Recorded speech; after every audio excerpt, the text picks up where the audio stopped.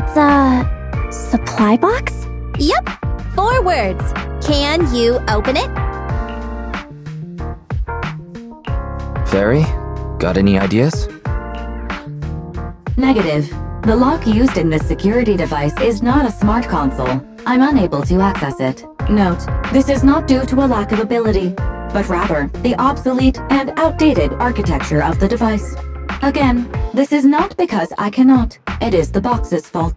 Nobody's blaming you, Fairy. I never thought you'd have such an ego.